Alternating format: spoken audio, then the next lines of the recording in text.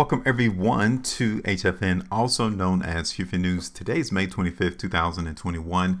We are going to give you all one of the top stocks that is to sell right now in order to make money. Now, everyone that you see here on YouTube only give you one biased direction, and that is expecting price to always go higher and higher. No one else gives you videos on when to expect stocks to go down. We can play it all. Here on this particular channel, we play the market going higher, we play it going lower, and we can even play when the market doesn't move at all, where it just trades sideways. And if you want to join our team, join our community, before you leave, make sure you hit the like button, share, and subscribe in order to join our team of community that ensures that we get in position to win into the market rather than reacting to price movement. Okay. And we're going to show you a confusing chart, right? One thing that we try to alleviate here on this channel is the confusion. There is enough confusion being replicated throughout these markets, whether you're in a cryptocurrency market, commodity space, even in the stock market. You need to uh, get rid of and eliminate that confusion in order to be profitable and to maintain profits. And we're going to show you all that on this particular channel based off of clean charts. So look at our chart right here this is all you need in order to understand where prices is going to go. Then I want you all to look at this one right here. Take a look at this chart right here. It's too much going on on this particular chart. This is what people term technical analysis. Now, the only thing that you and I are worried about when we really truly be honest with ourselves is where in the world is price going to go?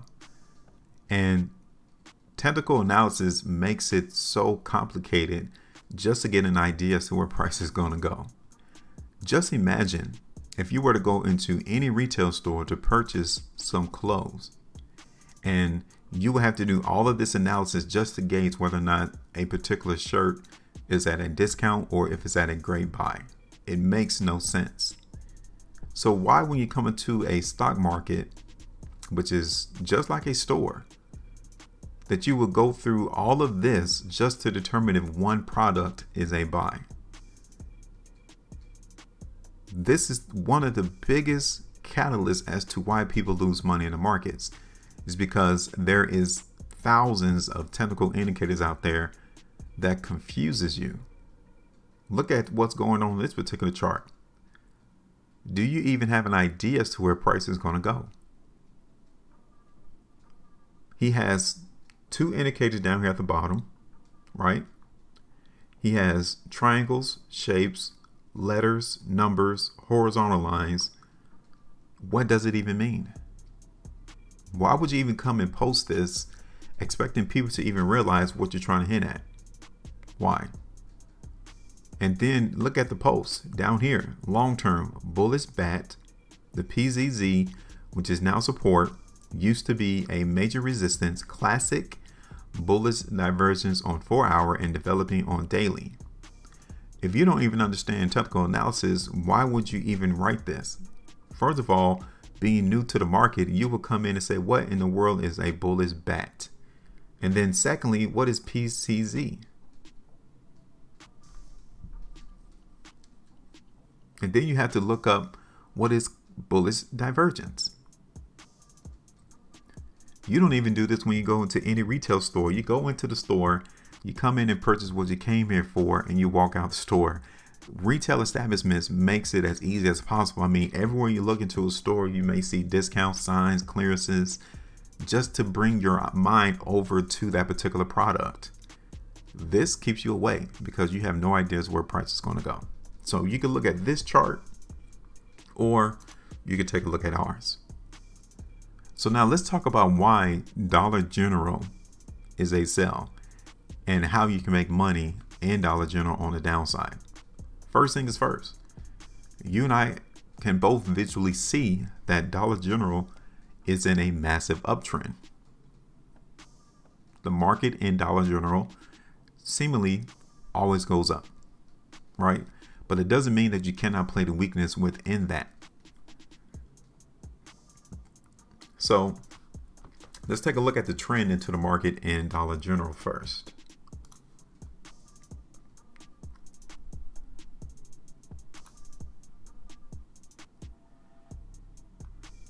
So let's see this market in Dollar General trade.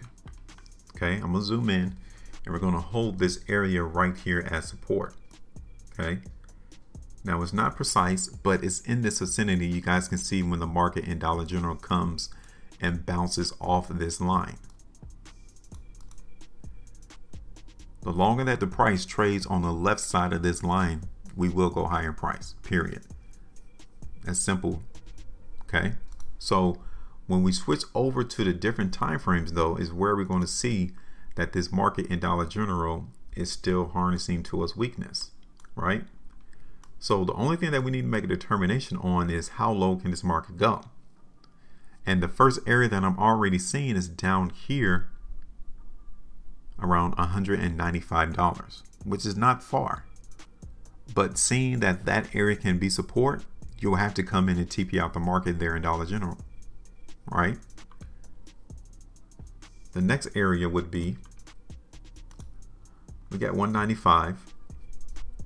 Second area would be around 192, $190, right? See that market weakness, to hold support. What about only three weeks. We have three days and 10 hours left on this current three weekly price bar. This is where you're really seeing a weakness at, okay? To where $190 is definitely feasible for Dollar General to come through. And then the probability within the long term, three weeks, we can see this market come and test this ascending line in Dollar General. Right there. So placing this on the chart, we can see at 190 that that would be about 3.61% profitability in that particular weakness. This area right here, 210, is where support, I'm sorry, restriction is. This is where we're expecting the market to get restricted and trying to break up above that price. 210, maybe even possibly right here around 205. We can see that as well. So this is where we're seeing the weakness. Five weekly time, I mean the five weekly price bar, you can still see here that this market in Dollar General is still giving us weakness. We have three days and 10 hours left for the month of May and look at how this market in Dollar General is trading. This is why we're going to play the weakness right here because in the long term is where we're seeing the overall weakness come through in Dollar General. Now it doesn't mean that you'll have days to where the market will go higher because you sure will. But from a longer viewpoint, you can see that this market in Dollar General is definitely hinting at some weakness. And this is how we're going to play the market. And this is how you're able to win in this particular stock when it goes down. You get in a position, you find out where the area of support is, and you find out where the area of restriction is at. So currently we're going to play the weakness here into the market Dollar General. Our first area that we will skim off just a little bit of profitability will be around 195. Okay. And that will give us around one and a quarter percent. That's only because we've have here in the background some areas of slight support. That's it.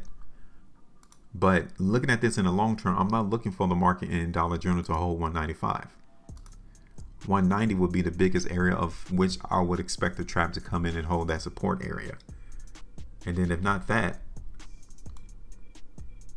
187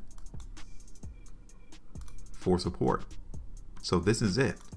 We're in position. We're expecting the market to go lower in Dollar General. Now it's your turn. Tell me which stock do you think, if it's not Dollar General, that you think is a sell right now? You need to see all sides of the market so that whenever you come into a store, you can make a determination. Oh yeah, that, that's too expensive, or I'm not going to touch that particular stock yet because it looked like it's going to continue to go lower. Like you don't, you want to see from different viewpoints what the market actually looks like. And when you continually see it from one side, you become less prepared of when the market actually drops. So we want to give you a different viewpoint.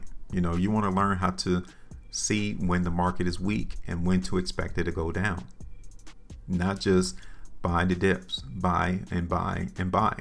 No, sometimes you just need to see when the market is weak and wait to come into the store until it gets real cheap and you come in and buy it there. So let's do it.